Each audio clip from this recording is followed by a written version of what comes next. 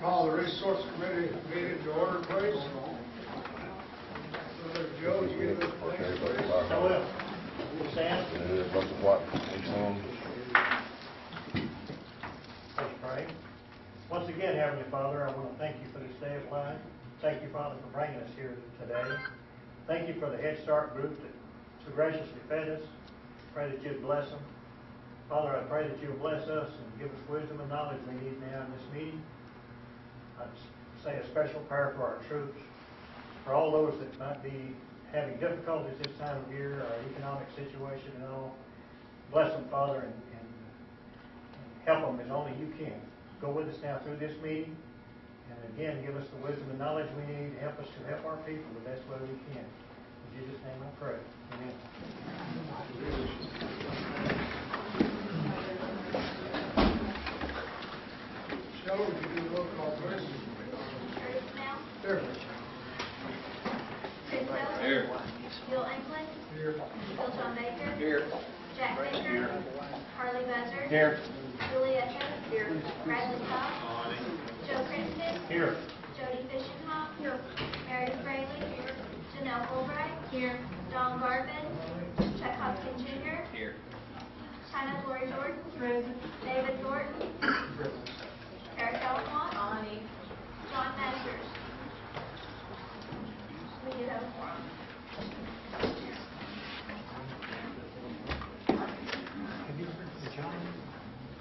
Yes, sir. Yeah, I just, uh, uh, just announcement for John Masters. He called me this morning, said he's gonna try to make it, but his wife is having some problems, so they couldn't make it today. He just wanted to let everybody know that. So, Like approval of the minutes, October thirteenth, regular session. Move the approval. Second. All in favor? Aye. All opposed?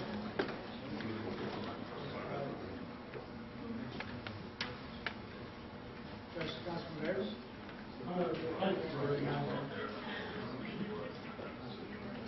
I would like to make a amendment, amendment to this agenda to include the next, surrounding certain compact that was made in the state of Oklahoma, that is known as the Cherokee Nation State Tobacco Tax Compact Act of two thousand and eight. And I'd like to place this act on the agenda before the report. Second. We have a motion and a second, do we have any discussion? All in favor? Aye. All opposed? Uh, Councilman David Gordon, you move to second second.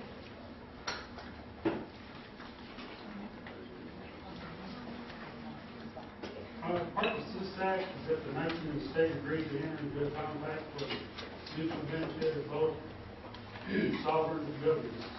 Recognition of the sovereign authority of the Cherokee Nation is held, the powers of self-government and sovereignty of the state of Oklahoma to act as an independent sovereign state. This law authorizes principal chief to approve the compact and the necessary actions to implement the requirements of this provisions to authorize and approve as authorized and approved by the council of the Cherokee Nation. I'd like to make a motion to pass this compact. I'll second it with a, an amendment, friendly amendment, it's effective, but also it's not, not, part of council. And it's used straight to council, like the board, and the vice council. I would uh, also like to include a change in the in section three. After the end of the first sentence, in terms of the compact. Include Title sixty-eight, chapter four of the Cherokee Nation Code, and no business hereby amended to include the tax rates agreed to under the terms of this compact. I'd like to make a motion. Uh, do I hear a? Second.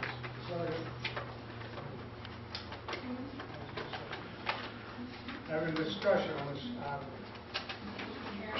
Yes. We just rather than approving the compact itself, we need to approve the legislation or the resolution that attaches the compact.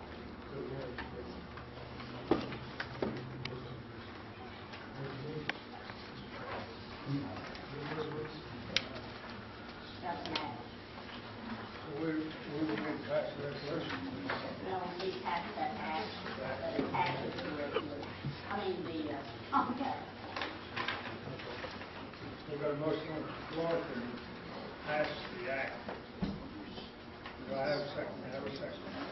That was what, what I understood. That's what we, We have a discussion, yes, Mr. Engel? Yeah, Mr. Chairman, does this include this resolution, just to get it out of the on, on the rebate? So, No, Are we gonna, I'm, I'm gonna make a motion here in a second to amend the agenda for that. that's all I need. Any more discussion?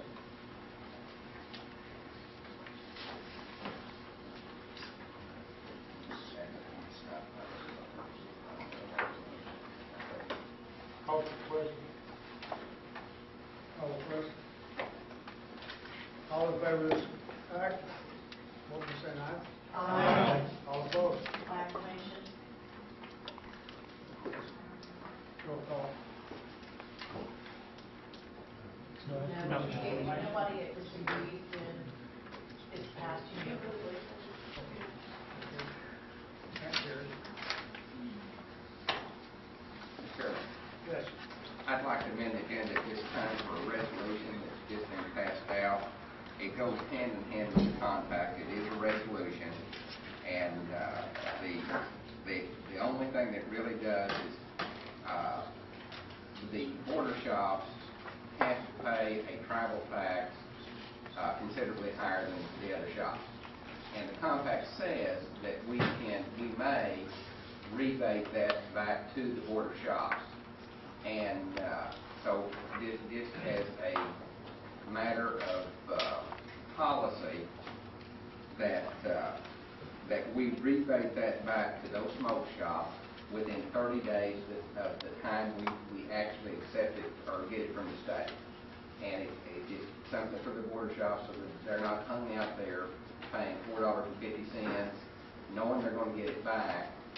Uh, But uh, it, it's just, just a closing, closing the loophole so that, that we don't hold them out to where they, they can't stay in business. And that's, that's what this resolution is, and I put it in form of a motion. Second. Do I hear any discussion on this motion? This is motion to amend, correct? Yes, motion to amend, yes, yes. No discussion? All in favor? Aye. All opposed? Motion carries.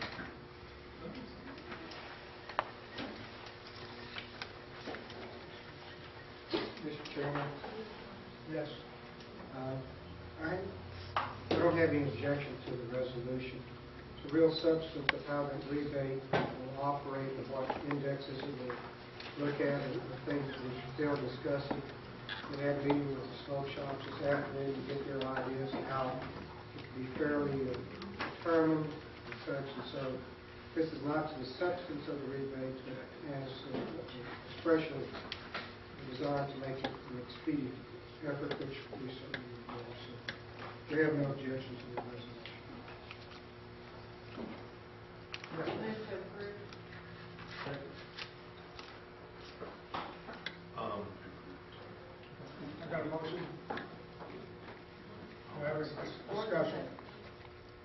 Yes, um, uh, Mr. Chairman, uh, Dr. Cobb has uh, pointed out one scrivener's error. You know, we've been working on this thing, so it's probably only have one. But uh, in the therefore uh, be it resolved clause, uh, the the resolution states Cherokee Nation, the state of, that the Cherokee Nation tax, that on tax collected on border smoke shop pursuant to the tax compact between the Cherokee Nation and the state of Oklahoma, and that this rebate not occur less than 30 days. It should be not, it should strike less and add more, not more than 30 days. So we can do it sooner than 30 days if we, that, that would. Thank you.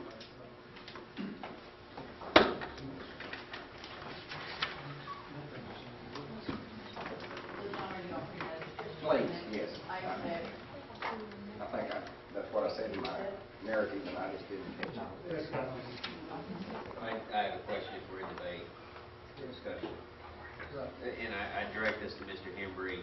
You know, there's some discussion offline earlier today about whether, uh, or what we could do to speed up what will be painful time for the border smoke shops, and whether the wholesaler could in fact stand in the shoes of Cherokee Nation and and instantly rebate, if you will, could you kind of walk us through the concerns that there might be, that that might raise an issue that somebody might want to take to arbitration or federal court? Yes, uh, if you look to your, your compact, and I think that this place, you got to forgive forgive me, we've, been a whirlwind of activity. That's a copy of the compact. All right. If you go, throughout the compact itself, there, there is, uh, uh, language that, uh, clearly delineates that this, that this tax be collected and that it be rebated back. I would refer to, um, uh, page four, section four.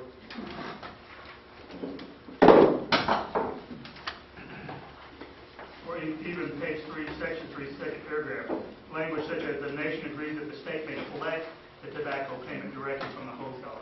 That the state collects. It's not, you know, uh, in, in, uh, uh, language like, uh, page four, section four, which says that the, uh, state authorizes the na, and the nation requires all wholesalers licensed by the state in selling cigarettes or tobacco products to any retailer to pay, collect a, a tax on all cigarette and tobacco products. Uh, and, uh, and it further says that, uh, that in B, that this tax, that, that tax be remitted, remit the uh, tax to the nation's tax commission. So this type of language has very specific language that, that the intent of it is for sure to collect, that, that a, a dollar tax, a money tax be collected and then re- rebated back.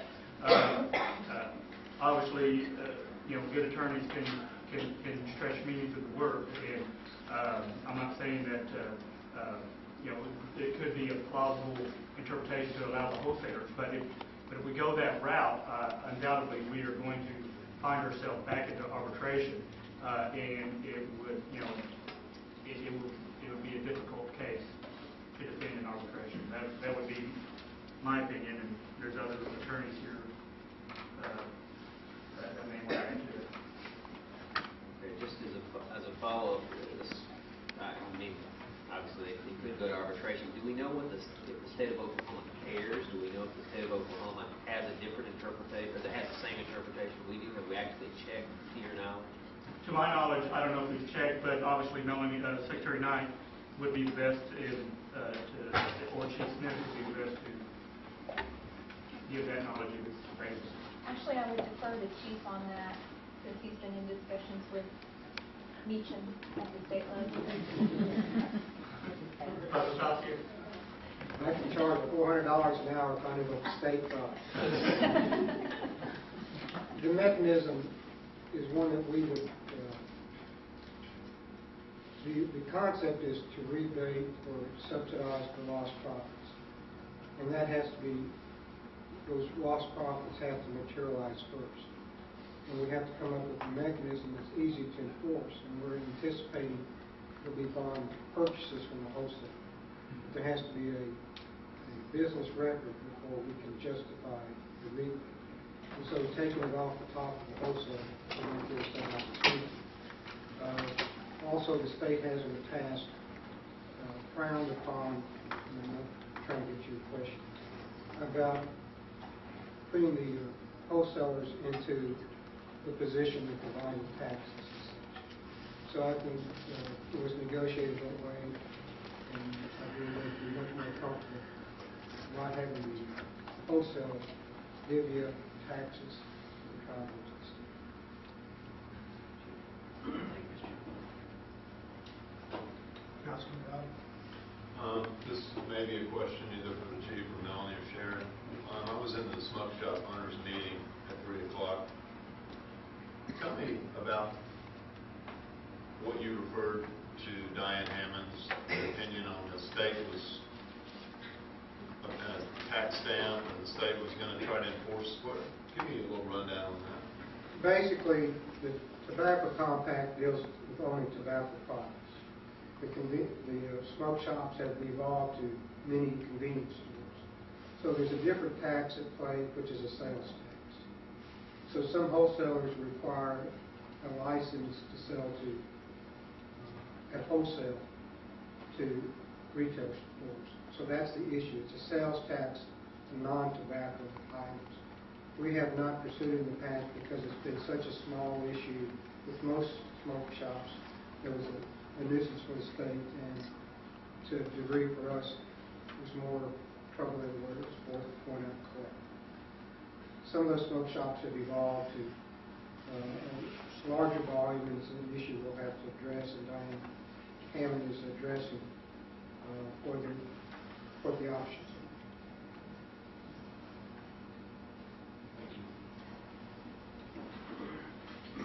Councilman Sharp?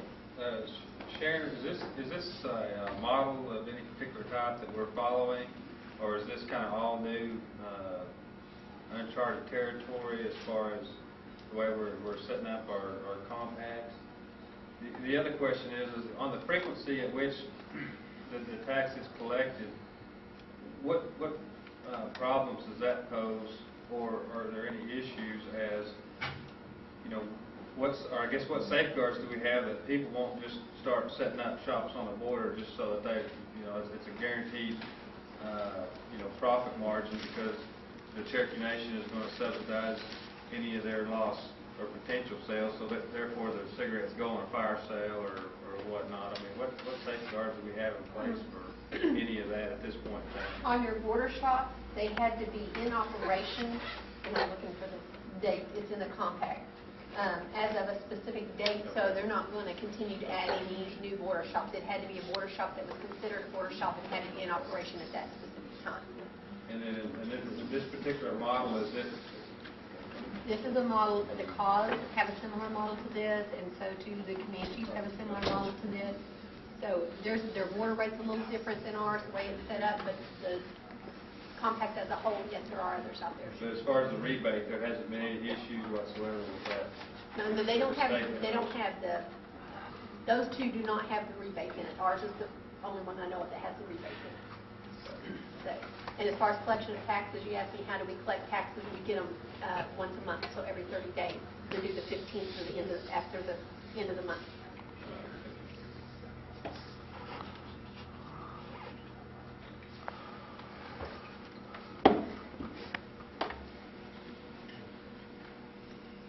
Yes, Councilman. Yes. Mr. Chairman, i- is- in the it talks about 30 days from receipt of the tax collection by Cherokee Nation, but, but really, how long is it from the time of something sold until Cherokee Nation actually receives this tax? How- What's the real time span we're talking about here? If they purchased it, let's say within the month of October, then that should report, be reported to us in the report that came in by November 15th. They're due by the 15th. And then 30 days from that, this resolution re- would, would require us to By remit the a time we got the rebate. reports. So during that time period, do we know what kind of pain these border shops are going to feel? And do we know, is it going to cause any of them to go under? I mean, Have we had the opportunity to analyze that? I wasn't in the meeting. Well, there's an anomaly on the front end because you could check the number of smoke shops. When the compact goes in effect, the cost of their tobacco will go up substantially. So what I anticipate, and everybody was grinning when I was talking about that, most of your smoke shops and border are going to go out and lamp up and buy as much tobacco as they can right now. So they will be grandfathered in at lower tobacco. So you won't have the first month cash drain as much because they will have old stock that's more profitable than the new stock. So that, actually, that works for us when we start. Thank you, Mr. Chairman. Do we have more questions?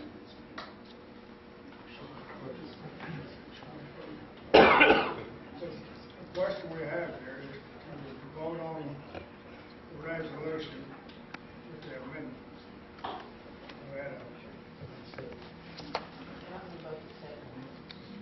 in favor? Aye. All opposed?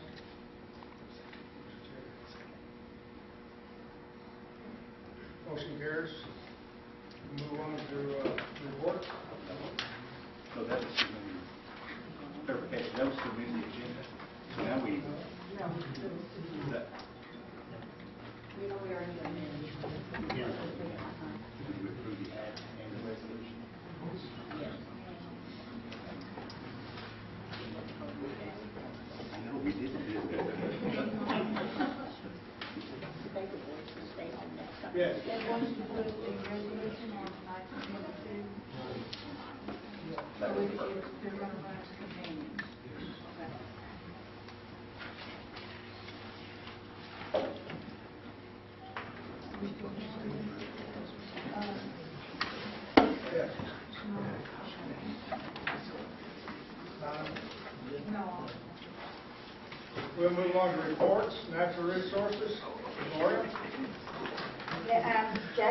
um, Andy have been detained in a meeting, um, and you have their report. Um, If you have any questions about natural resources, I'll be glad to take those uh, back and get those answered for you.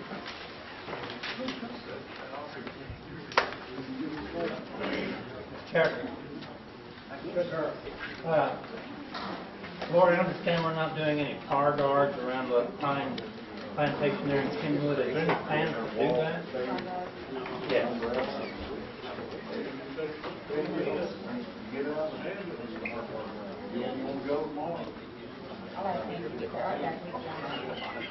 then, and then let me know, uh, why we're not doing it, if it's because of money or, or what, because I'd like to see car guards put around that again. Thank you, thank you. We have more questions? Laura? Want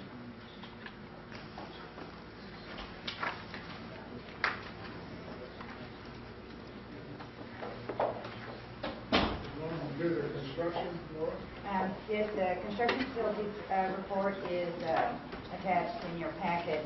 Um, I would like to report that emergency management is working with Concord, and when I came down here uh, about 30 minutes ago, they are, uh, that someone was at the warehouse getting the water.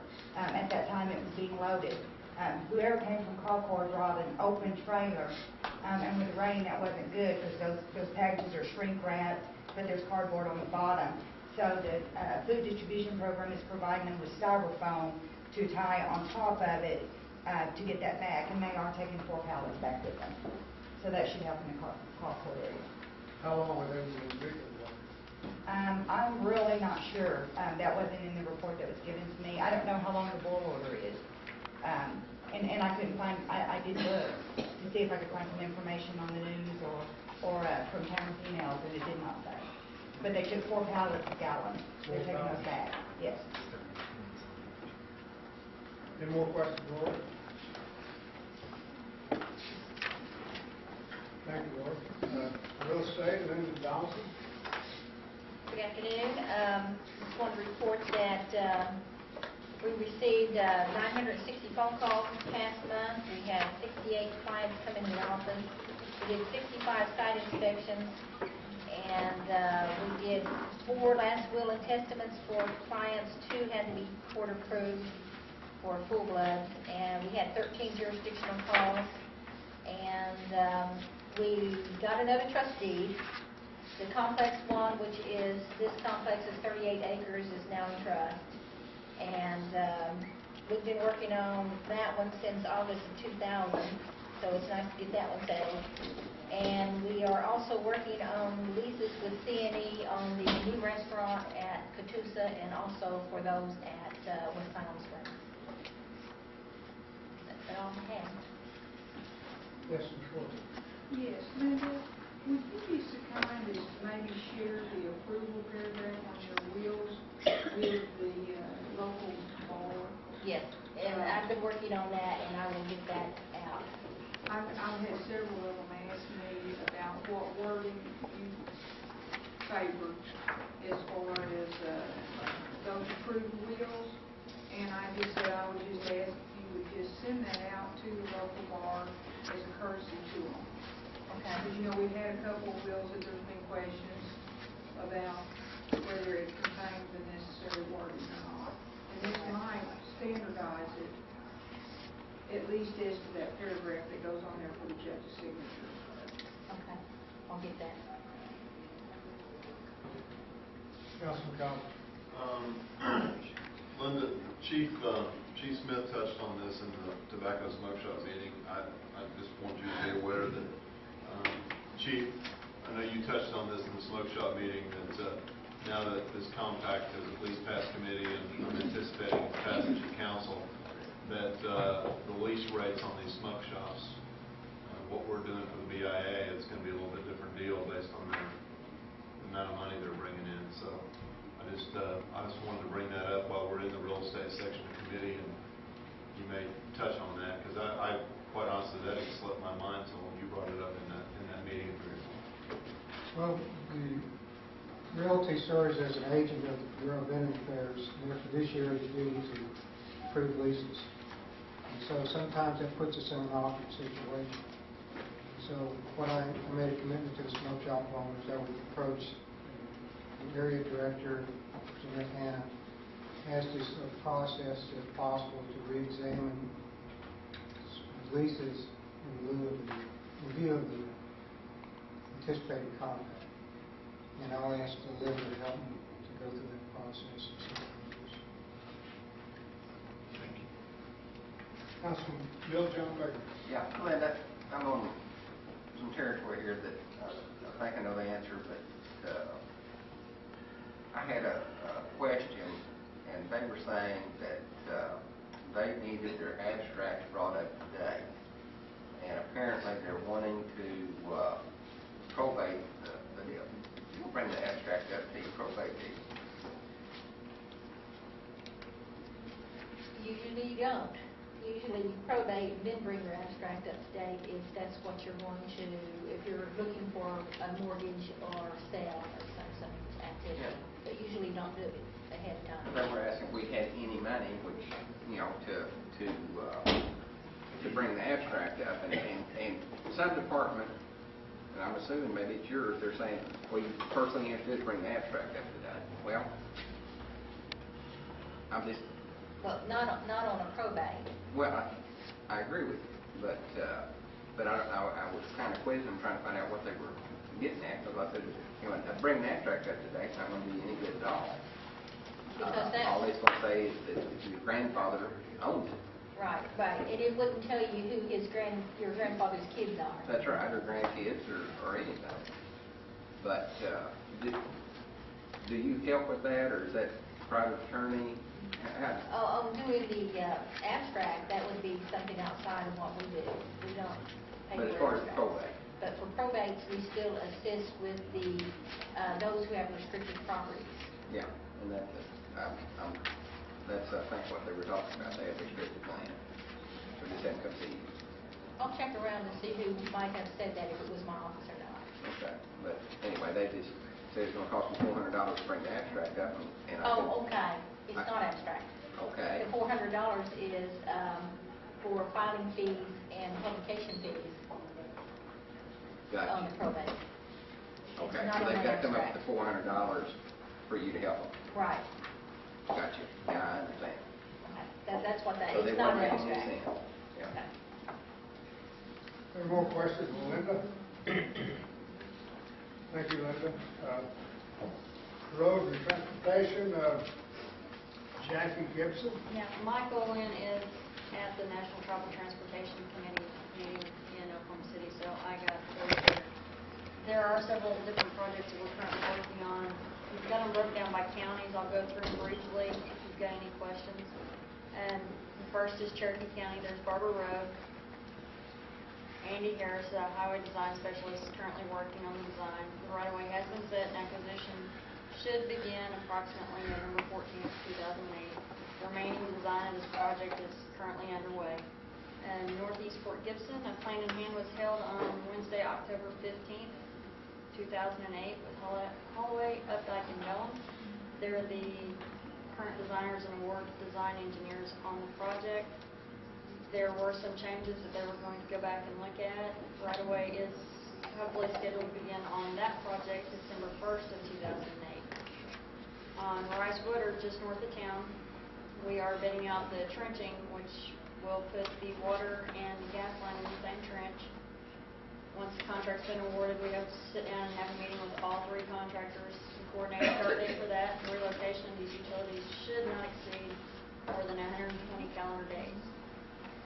Cookson Park, which is south of Keys, had a final inspection, was performed on November 6th. There were only a few minor deficiencies that were for correction. These will be corrected before final payment is made. An amendment to the contract will be needed due to some small overruns on riprap, shoulder patching, and some other small issues. An underground drain was also added towards the top of the hill to correct some drainage issues. Red Barn, APCO is still working under the liquidated damage clause. The contract did expire August 19, 2008. So far, APCO has 83 days under this clause as of November 10th. The project is progressing, asphalt is complete, and APCO is currently striping and working on general cleanup and addressing some other issues. In Adair County, Honey Hill has been separated into two phases due to some litigation with some condemnation with some landowner. Hopefully, construction on the first phase should begin early in 2009. The Greasy Rehab plans are 100% complete. They were designed by Don Moore, which is also one of our highway design specialists. The Plans have been sent out to Red Plains for a second level review. Once approved, they should be prepared for bid letting and construction should hopefully begin early 2009. Delaney East South Road is scheduled to have a community meeting on Monday, November 17th at 6:30. The, this meeting will be held at the Delaney School cafeteria. This meeting is to present a preliminary set of construction plans and get concerns of landowners. In Delaware County, Twin Oaks Pool Hollow, the design is approximately 90% complete. No special notes this time on this project, and hopefully right-of-way acquisition and utility relocation requests should begin by the end of 2008. On Kenwood Road, staff members met with Guy Engineering and Delaware County Commissioners on Thursday, October 16th, to to discuss bridge replacement. Guy Engineering will design two new bridge structures, Delaware County will pay for design costs, Cherokee Nation will pay for construction costs, I do believe. Daytown Dry Creek, construction is ahead of schedule. They are finishing up some guardrail fencing, sod, and some other general cleanup. A dedication has been scheduled for Tuesday, November 18th at 6:30. The dinner will be held at the Kansas High School cafeteria. The dinner will consist of fried catfish and chicken, hush puppies, beans, hominy, and Talking Leaves Job Corps will also be providing us with some sheet cake for dessert. In Mayes County, Cedar Crest Road and Bridge, the most recent counteroffer from Charles and Donna Drury through the attorney Kay Ellis Ritchie in June contains six provisions as well as payment to the Drury's of forty-five thousand dollars, which is inclusive of all items of compensation, including attorney fees. I am not very familiar with that. Hmm. If you have questions about that case, I can address them with Michael. That has been a long process. On the transit program, passenger rates on the Stilwell Tahlequah route is stable but low. A pickup point for the Eldon community has been established down at Eldon Church. Todd Enlow will send an all-employees email asking for people interested in traveling from the Stilwell and Eldon community to the Cherokee Nation Complex Casino and Early Childhood Development to fill out a survey questionnaire on the Cherokee Nation website.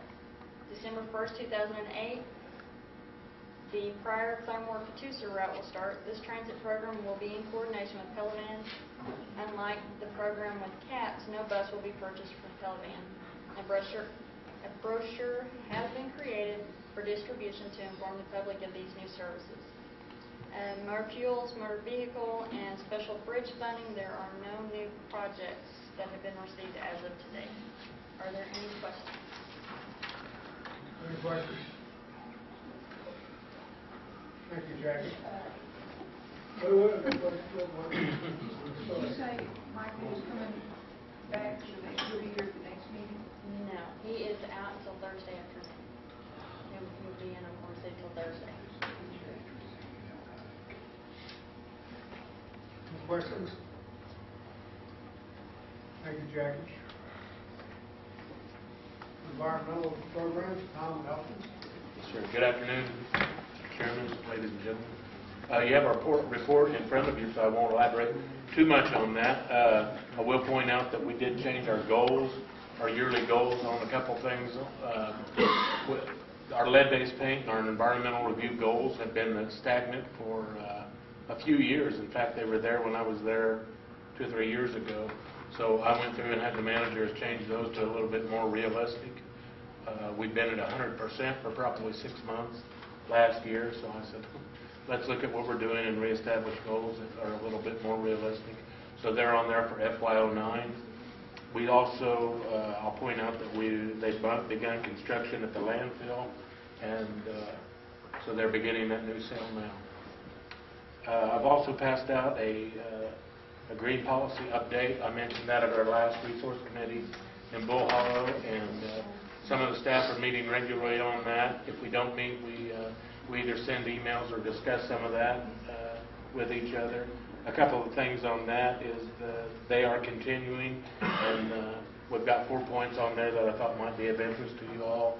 And then again, we'd like to invite you, we don't have a a set meeting for this next month, but when we do, we'd like to invite your input to any of that that you'd, uh, you'd care to give.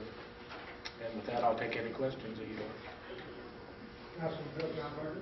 Yeah, Tom, did, did your group do the environmentals for housing rehab and those folks? Sure do. Okay. Uh,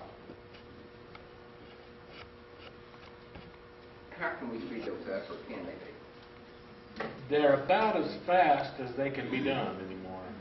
Uh, The only time we ever get a holdup on those, we generally can get them back to them, either, if they say it's an emergency and we, we get them in the morning, we could generally get them back to them that afternoon. If it's an emergency and they prioritize and say, we have to have this one right now, it's like an elderly person and it's a priority for us. The only time that gets to be a problem is if there's, uh, we have them lined out now to where there's certain projects that we don't have to consult with any other agency. And if that's the case, and there's no clearance has to be done except for just paperwork being put in the file, we can have those done in a day or two. If we have to consult, it's a project that requires us to consult with another agency, that begins a 30-day timeline. And that's from when that agency receives our letter of consultation until they send it back. So we're talking about the time that we send it to them, the mail time, and the mail time for them to get them back. Okay, we're, we're talking rehabs, Certainly. new roof type thing. Dave? They're telling me that, uh, uh, not only do you have to do, uh, the, uh, lead-based paint, but now that you're, you're having to do the, uh, asbestos. If they, if they ask us to do those. If, we don't generally do asbestos. Well, they're telling me that NAHASDA came down with new rules and we're having to do it on all of them. If there's a reason to believe there's asbestos, they ask us to do them, and we do those.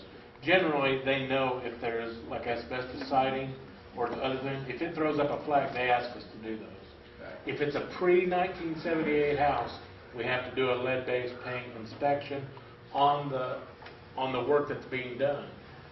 We've went through this time and time again with them. If they're rehabbing a house, and they're gonna rehab a kitchen, if they know there's no lead-based paint in that kitchen, or they're not gonna disturb paint, there's no lead-based paint work have to be done. If, if they're gonna work on a roof, there's no lead-based paint have to be done. Inspection work have to be done. If they're disturbing paint more than two square foot, which is minimal, in a pre-78 house, it doesn't have to be a full-blown inspection. It has to be, that paint has to be tested for what they're going to disturb. We generally go ahead and do a full-blown inspection because they might want to disturb other paint somewhere else. So we go ahead and generally do that. Now, if they want it done, say, come in here and test this today and tell me today, can we do this? We could do that, but they don't generally ask for that. So you do lead-based and asbestos in a, in a week. Unless the sky falls, yes, sir. Okay, Thank you. Uh, Tom, I got a question on some of the low-rent units that the nation operates. Uh, I've been told that uh, we have to do an environmental if they go in and change a light fixture. They do an environmental if they go in and do a, change out a hot water heater. They do an environmental if we change the heating and air unit. Is that, is that uh, what we're doing? They have to for things that are above normal maintenance. I mean, you know, you wouldn't, if you had to change a light bulb, you wouldn't do an environmental Right, review. no, they're talking, they're talking If you're about- pulling out a fixture where you have to, a fixture, and that's, HUD defines that. And, That and they've actually delineated for that, i- that for us in a memo. And so there's certain, uh, things that you would remove fixtures, they have to have an environmental review. Now, if it's something that we're doing, pulling out a water heater, we can have that for them in thirty minutes generally. Well, I think the point that I'm trying to make here to the committee is, is I don't know if we can ask for exceptions on some of these things or not. I think we need to look into it because it's a little ridiculous if we have a licensed electrician on hand that can't change out that light fixture there. I don't, can we ask for exceptions on, on things like that? No. You know, it's, it's, it's a little different thing. You can ask for exceptions on a DOI project, but in the NAHASDA with HUD, it's a little bit different, I understand. It is. Well, that was my question to Tom, because it just, But it just doesn't make good common sense to do this stuff. But generally, when we go out, we, when they do inspections, and let, let's say the housing authority or the housing services goes out and looks at a low rent unit that they own, and let's say they're gonna inspect it, if there's a, a, uh, uh, a light fixture that needs replaced, they're gonna go through and make a list of what needs done in that home. They're not gonna do that right then.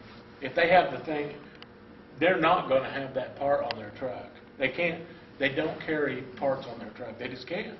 Because they have to cost account and charge whatever they're putting to that unit. So they're gonna go out and buy that for that unit. If they know, and they know they're gonna do that and say, we need to go out and do that, we'll have that before they can go out there and replace that, if they'll tell us that. It's just a matter of procedures of how they need it done. If they'll let us know, we'll have it before they can get the part to them to fix it.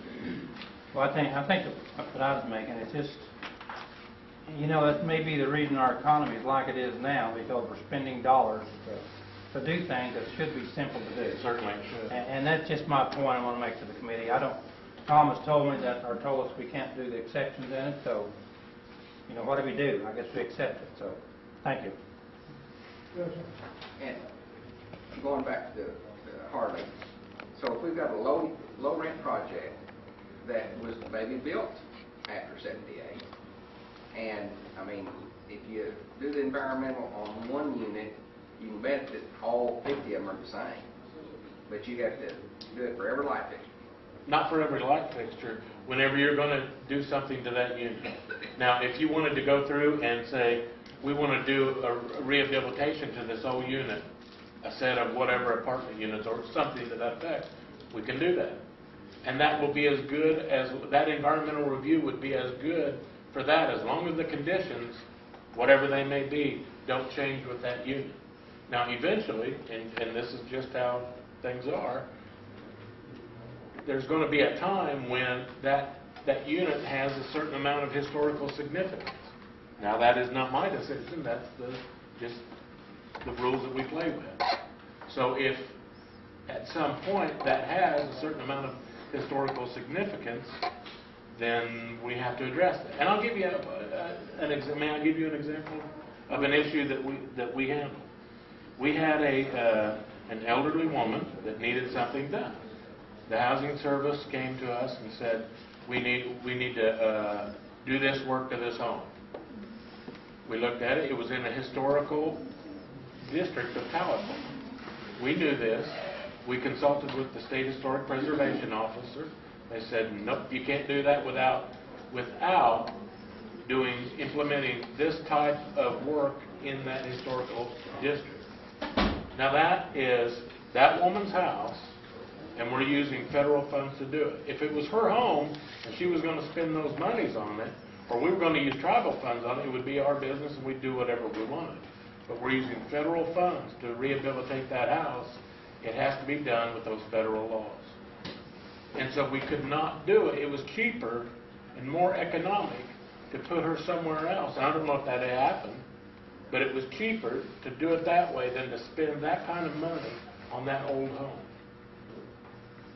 Or to remove the home and start over. And, and the only tag with that is, we're using federal money. And it's not by decision if it's a good decision or a bad decision, it's, we have federal money, so we have to follow the federal regulation. If we want to use tribal money or her money, we can do whatever we want, to a, re- within reason, as long as we're within tribal law. But uh, if we use the federal monies, we have to follow the federal regulations. Councilman Rhodes? Tom, this is more along the lines of what Harley was talking about. Would you be the appropriate department to ask for an exception, or would housing Certainly, we could. services, uh, would it be more appropriate to ask housing services, who is actually going to do the rehab? I think work? either one might be appropriate, but uh, they can't waive, that's federal statute, it's not a regulation. There's, It's uh, it's a federal statute. There's statute. no way then, in your opinion, that it could, that some of these things that Harley's talking about, that we could talk to HUD about? There's policy that we can get by, like, let's say we have a housing unit. If they wanted to a- tell us, hey, we're thinking about rehabbing this whole place in the future, why don't you give us an environmental review for rehabbing this whole, we could do that up front. And that would get done for whatever needed done at that housing unit. But they, we prioritize them by, we do hundreds and hundreds and hundreds of projects a year. Now, they may be small projects, but we're talking well, between BIA work, HUD work, and IHS work, well over a thousand a year. And they might be small, three or four page uh, documents that we do for those, but then some of them may be 40 or 50 page documents that take six months to finish. Uh, Tom, what is the cost on rehabs? What is your department having to charge as far as the cost on rehabs for the environmental? It is so variable. I can, Marvin uh, asks us to put costs associated with those, and to pull one off the shelf and say, how much did this one cost? I can give an estimate, but it's amazing how much variance there is on these. And, and, I mean, he just agrees with us on this, because let's say we go to a house that, uh, that requires absolutely no consultation with other, other entities. That may take us, uh, a day or so to write up the paperwork and do the research on it and send it and, and put it in the file. So we're talking a day's worth of, uh, uh, an environmental specialist time and, you know, whatever a little bit goes with that. And then, uh, we have people review those and then I or another certification official, certifying official signs off on those. So, you know, a few minutes of my time accordingly, and then, you know, administrative assistant to file it and do things of that nature. So we're not talking that much money. On the other hand, if we have to consult with other entities, we might have to consult with the State Historic Preservation Office. Um, We might have to do flood control work on that and have somebody actually go out in the field and do a GPS point to make sure, to make sure, maybe it's extremely close to a floodplain, and instead of just relying on a, on a, uh, on a, an office map look at- for a, a floodplain map, we actually need somebody to go out and take a few GPS points to make sure that it's not in a floodplain, or to do a wetland delineation to make sure that they're not building in a wetland, or something to that effect. So the, the the spectrum of how much time we put in these is so broad, it's hard to pull one off the file and say, how much did this one cost? Or how much do these cost? And that's why you are, you're just being funded as a lump sum We do, yes, ma'am. Now, we try, and, and what we've done this year is look at our past year and try to put how much are we taking of that lump sum and putting in rehab, and how much are we taking and putting in lead-based paint work. And we're trying to do cost accounting in that so that we can kind of track how much we're spending in that.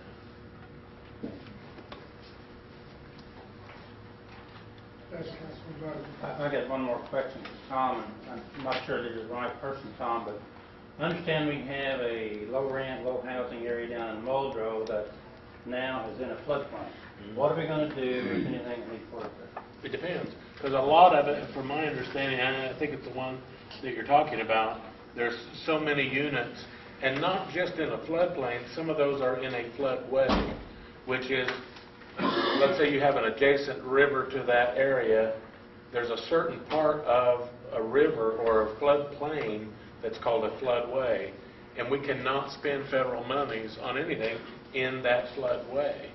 Well, when those uh, buildings were built, they were not, there was, that floodplain was not delineated. Those flood maps came back and said, now you're in that floodway. But generally, not always, but generally, you can pretty much tell if you're going to be in a floodplain when you're building, and they probably shouldn't have been built there. But they're there now. Oh, That was just a question. Thank you. Certainly. Councilman Brittenhoff. Do you ever do any reviews for tribally funded minor emergency repairs? Tribally funded, we haven't, not that I know of. I mean, generally, if they're tribally funded, they don't ask us to.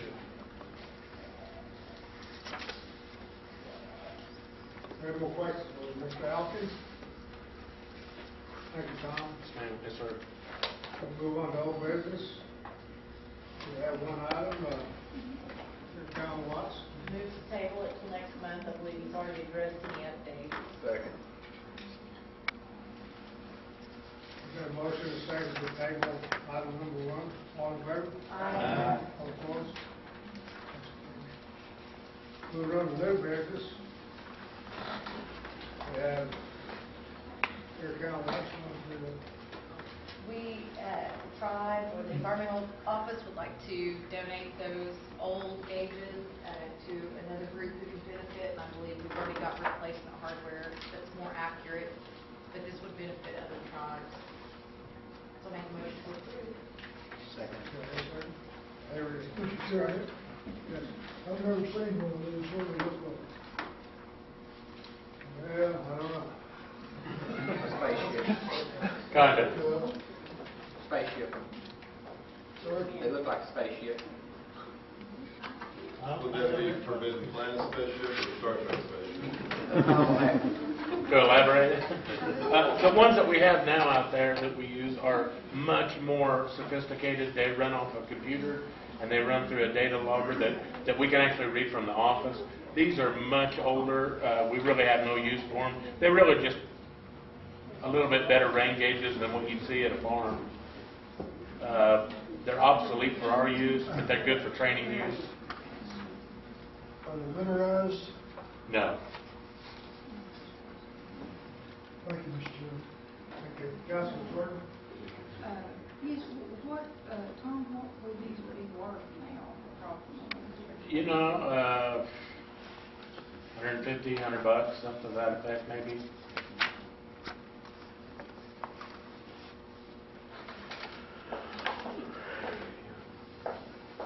We bought them with EPA money, so it's, it's difficult to sell things like that. It's much easier to just give them to another entity that could use them for training purposes. Thank you. I have a motion and a second on item number one. All in favor? Aye. All opposed? Motion carries. Resolution number two, Cara Cowan Watts. The grant for Superfund site. And we've got lots of them in the Country. Move for approval. Approval. Second. Second. All in favor? Aye. All opposed? Motion carries. Announcement, Jack Baker. Yes, I did. Next Monday evening, for those of you that are attending the uh, University of Tulsa President's Dinner honoring the Cherokee Nation, there will be a behind-the-scenes tour of Gilcrease and the Special Collections University of Tulsa Library, starting at 3 o'clock at Gilcrease. Because Gilcrease has most of our original Cherokee tribal records before the Civil War, and there's some very early ones.